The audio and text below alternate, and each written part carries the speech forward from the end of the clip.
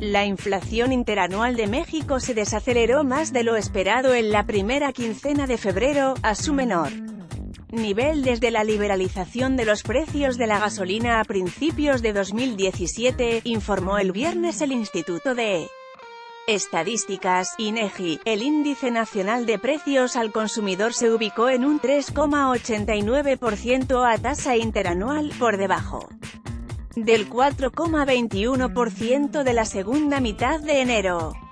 Analistas esperaban una tasa del 4,07%. Finanzas Bansico mantiene su tasa de interés en 8,25%. El dato publicado por el INEGI es el más bajo para la inflación.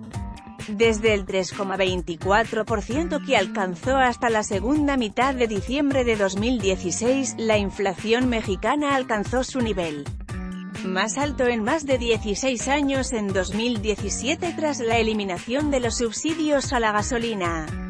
Desde entonces,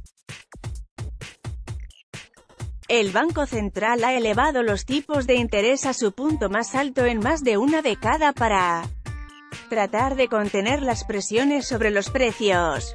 La meta de Banxico la inflación subyacente, considerada un mejor parámetro para medir la trayectoria de los precios porque elimina productos de alta volatilidad, creció a una tasa interanual del 3,51%. Hasta la primera mitad del mes. México para los pobres son los precios de garantía, saber solo en la quincena.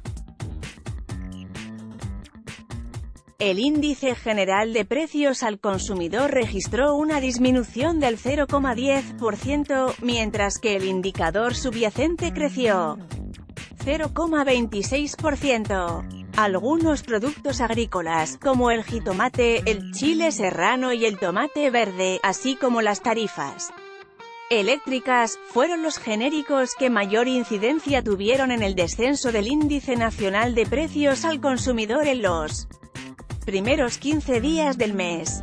El Banco de México mantuvo en febrero la tasa clave de interés en 8,25 por ciento y dijo en la minuta publicada el jueves que la postura de política monetaria es congruente con la convergencia de la inflación al objetivo del 3,0%. Punto.